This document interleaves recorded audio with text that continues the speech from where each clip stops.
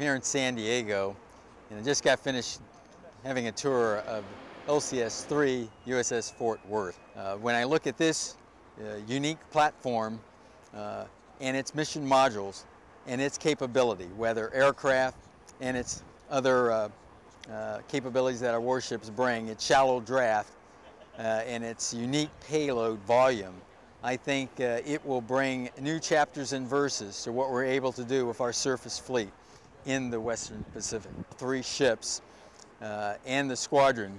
Uh, I do uh, have my hats off from what I have seen in the remarkable work they have been doing, what they continue to do as they bring this new capability.